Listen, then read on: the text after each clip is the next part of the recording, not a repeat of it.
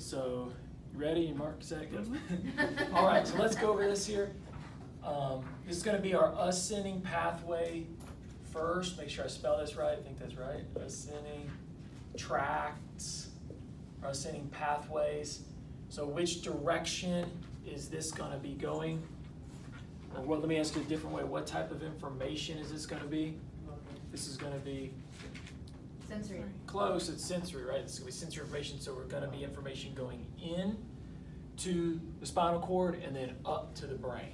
That's what we're going to go over. And this is the entire pathway. So it's really, we're going to call it ascending pathway, but really what this is, is this is going to be really the entire sensory pathway. So it's going to be, you know, some of it's going to be ascending as we go up the spinal cord. So this is the way we're going to write it. We've got three neurons that basically control this pathway. It's going to be called first order, okay, second order, and then third order neurons. Okay, so these are our neurons. Okay, so our first order neuron is going to, we're going to give you basically the origin and the destination of each neuron.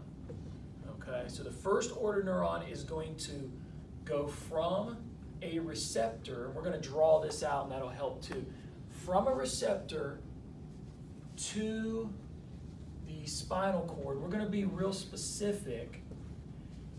Okay, and it's going to basically have a synapse here in the spinal cord, but we're going to be really specific. Where in the spinal cord, we could draw this maybe right here. Where in the spinal cord is this going to have to synapse? If you think about it, this is sensory information.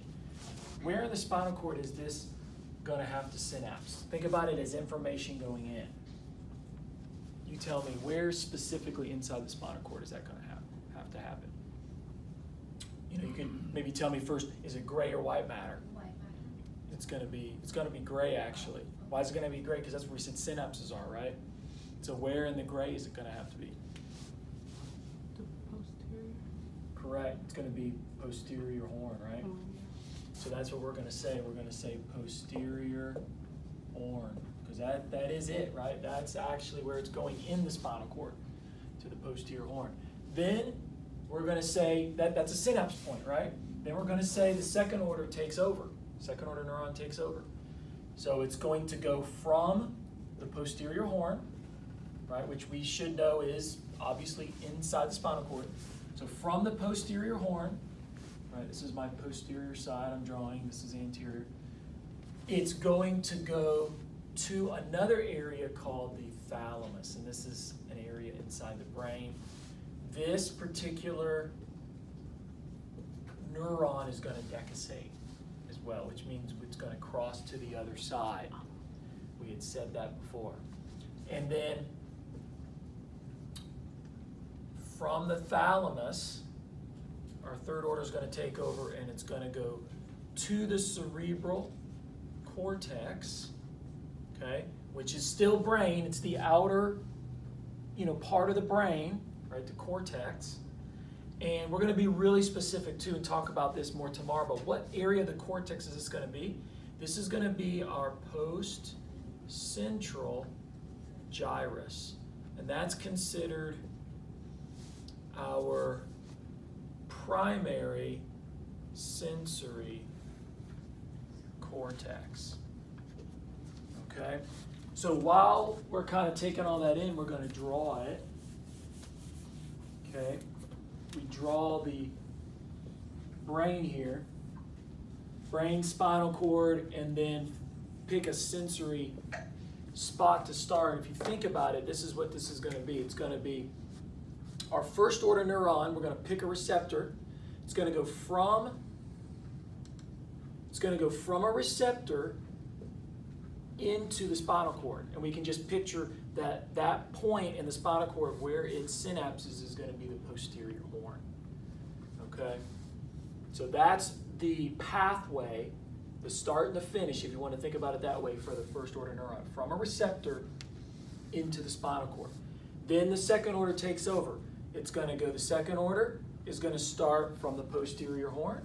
It's gonna run all the way up to the thalamus. Okay, so we'll call this second order. And as it goes up the spinal cord, we're gonna decussate, right? It, it crosses to the other side. That's the best decussation I can draw.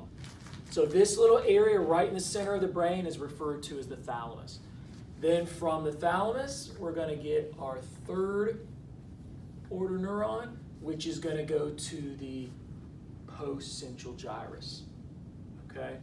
Which is our primary sensory cortex, which basically means everything sensory that's somatic, okay? Which is, you know, bone, muscle, joint, skin, that sort of thing, right? Everything somatic that's sensory is gonna go to this post-central gyrus. So if we just traced the entire sensory pathway, okay?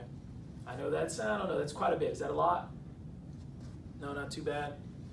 So that's the entire sensory pathway. But we can't stop there, so we gotta keep going for a minute. We gotta do motor real fast. So y'all good real quick with doing motor? So real quick, we're gonna do motor. I'm gonna leave this and we, we can kind of review all this, but let's go ahead and, I'm gonna go ahead and, I won't erase it. What I'll do is I'll put my motor pathway, which is shorter, which is good. Our motor pathway we'll do in blue. So that's gonna be referred to as the descending tracts, right? We're gonna start with a different name. These are called upper motor neurons and lower motor neurons. Okay? A lot of times just abbreviated UMN and LMN. Okay, for upper motor neurons and lower motor neurons. Upper motor neurons are entirely CNS. So I'll just put it over here. They're entirely in your central nervous system. Lower motor neurons are entirely in the peripheral nervous system. So one thing you think about when you think about upper motor neurons, your brain should think uh, CNS. When you think lower motor neuron, you should think PNS automatically. Okay? Where do the upper motor neurons go? So the upper motor neurons, just kind of underline them here. Upper motor neurons are going to go from, think about it too. We're motor now, so we're going down. So we're going to start literally from the, the opposite uh, starting point of the sensory. We're going to start from, basically, in a sense, it's like we're going backwards now. So upper motor neurons are going to go from the cerebral cortex. Okay, and we're going to be specific. What area of the cerebral cortex is this going to be? It's going to be the pre-central gyrus. Okay, that's our motor region, our primary motor region. We're literally starting backwards, right? And we're going to go to the spinal cord. And if we want to be specific, we can say anterior horn of the spinal cord. We're also going to decussate. Okay? That pathway is going to decussate, and we'll draw it out in a minute. And then the lower motor neuron is simply going to go from the anterior horn. It's going to pick up and go to a muscle. Going to keep it real simple. So then let's draw this out real fast. Okay, we're still gonna go in opposite direction. We're gonna go to a muscle, so we'll draw a muscle out. That's our bicep. So what we're gonna do is we're gonna go, we're gonna start up here in the cerebral cortex. We're starting with the precentral gyrus. Okay, and we're gonna go down. We're gonna decussate. This is gonna be referred to as our upper motor neuron, right? We're gonna go from the precentral gyrus all the way down to the spinal cord, and we're just going to remember that that's in the anterior horn. Okay? And I drew a little decussation in there the best I could. Then what we're going to do is we're going to go from the anterior horn all the way to a muscle. It's as simple as that, and that we said was our lower motor neuron. So it's one less step for our descending pathway. And that's why we can see that upper motor neurons are completely CNS, Lower motor neurons are completely PNS. Okay? That wraps up our sensory and motor pathway.